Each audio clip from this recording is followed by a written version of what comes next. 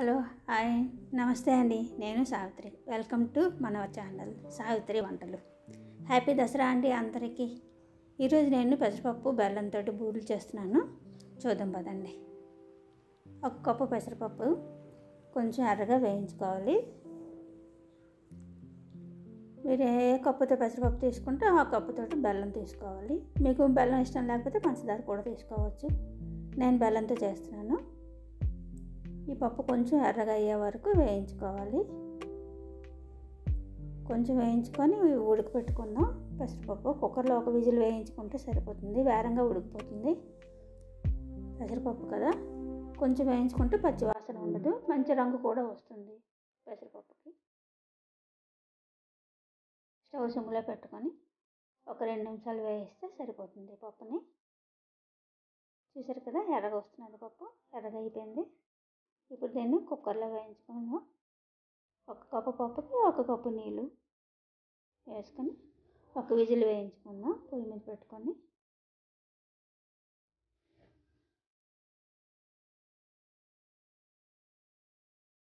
ఇది ఒక విజిల్ వేస్తే సరిపోతుంది. పెసరపప్పు వేరం ఉడికిపోతుంది. చూసారు కదా? ఇది విజిల్ వేసింది. ఇప్పుడు ఆవిరిపోయిన తర్వాత మూత తీసుకుందాం. పెసరపప్పు చూసారు కదా ఇలాగ మెత్తగా అయిపోతుంది బాగా ఉడికిపోయింది. మనం వేరేగా ఎనపక్కర్లేదు ఈ పప్పుని వేరంగా మెత్తగా అయిపోతుంది. కలర్ కూడా మంచి కలర్ వచ్చింది. కొంచెం వేయించాం కదా పెసరపప్పు వేయించుకుంటే మంచి రంగు కూడా వస్తుంది పప్పుకి. ఇప్పుడు స్టవ్ వెలిగించుకొని ఒక పానం పెట్టుకొని దాని మీద బెల్లం ఒక కప్పు వేసుకొని పాకం తీసుకుందాం. కొంచెం బెల్లం కరిగే వరకు ఎక్కువ పాకం అక్కర్లేదు దీనికి. ఒక కప్పు బెల్లంకి ఒక కప్పు నీళ్ళు పోసుకొని బెల్లం కరిగే వరకు మనం అటు శుభ్రం కలుపుకుంటే బేరం కరిగిపోతుంది బెల్లం చూసారా? బెల్లం కరిగిపోయింది కదా? ఇప్పుడు ఇందులో మనం ఓ రెండు స్పూన్లు ఎండు కొబ్బరి వేసుకున్నాను ఇది పచ్చి కొబ్బరి ఉన్నా వేసుకోవచ్చు. అది రెండు స్పూన్లు వేసుకున్నా బాగుంటుంది. వేసుకొని కలుపుకున్న తర్వాత ఇప్పుడు మనం పెసరపప్పు ఉడికించి ఉంచుకున్నాం కదా బాగా ఎనిపేసి ఆ పెసరపప్పు ముద్ద కూడా వేసుకుందాం. వేసుకుని దీంట్లో శుభ్రంగా కలుపుకోవాలి.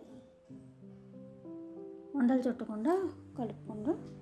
ఇది బెల్లం పాకం కొంచెం గట్టిపడే వరకు అలా కలుపుతూ ఉండాలి. స్టవ్ సిమ్లో పెట్టుకోవాలి. లేకపోతే మాడిపోతుంది కింద నుండి. అడుగంటేస్తుంది. చూసారు కదా ఇలాగ చెక్క పడిపోవాలి. మరి కొంచెం రెండు నిమిషాలు ఇలా కలుపుతూ ఉంటే మరి ఇంకా కొంచెం గట్టి పడుతుంది మొత్తని గట్టి పడితే అప్పుడు ప్లేట్లోకి తీసుకుందాం.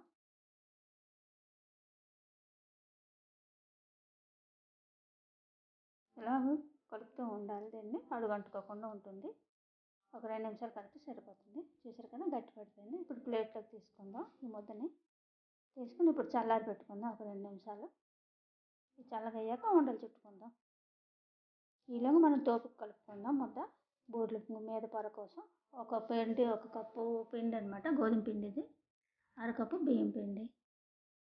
ఒక చిటికెడు సాల్ట్ వేసుకుందాం. వేసుకొని దీనికి తగినంత నీళ్ళు పోసుకొని ముద్ద కలుపుకోవాలి. అంత పలచన కాదు అంత దళసరిగా కాకుండా ముద్దగా కలుపుకోవాలి. కొంచెం కొంచెం నీళ్ళు పోసుకొని కలుపుకోవాలి దీన్ని. అది అంత పలచగా కలుపుకోకూడదు. గోధుమపిండి బియ్యం పిండితో అయితే బాగా వస్తాయి. మీద పొర పలచగా ఉంటుంది క్రిస్పీగా వస్తుంది.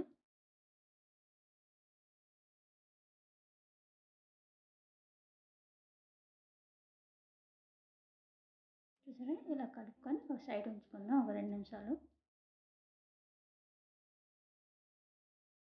ఇప్పుడు చల్లారింది కదా బూరెల ముద్ద దీన్ని ఉండలు చుట్టుకుందాం.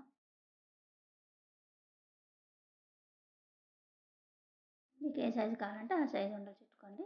మీడియం సైజు ఉండలు చుట్టుతాను నేను చిన్న నిమ్మకాయ అంతేసి. మీకు చిన్నవైనా చుట్టుకోవచ్చు పెద్ద బూరెలైనా చేసుకోవచ్చు.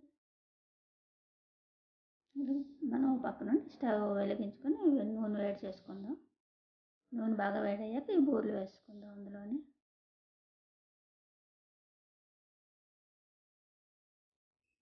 ఇలా ఉండలన్నీ చుట్టేసుకుందాం ఒకసారి.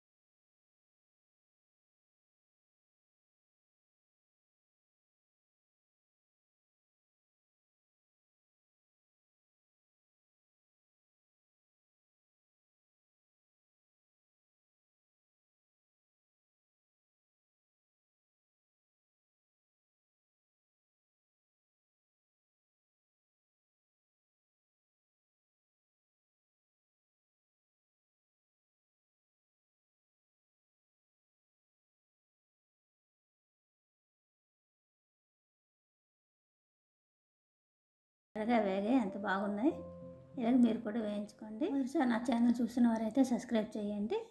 మళ్ళీ ఇంకోసారి కలుద్దాం. మరొక వెరైటీ వంటతోటి. నమస్తే అండి. బాయ్.